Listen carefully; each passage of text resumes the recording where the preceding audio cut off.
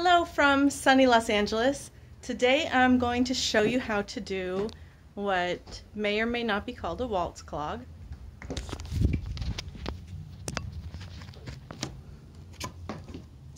So this starts, uh, we're going to do step shuffle ball change and then on the other foot step shuffle ball change.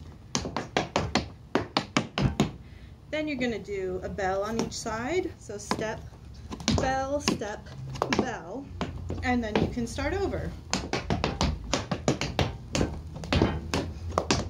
And when you do your bell, to make it extra cute, step over and then do your bell. So that is maybe a waltz clog.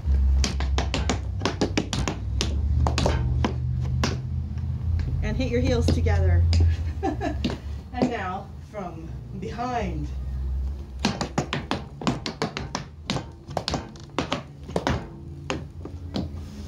Waltz clog.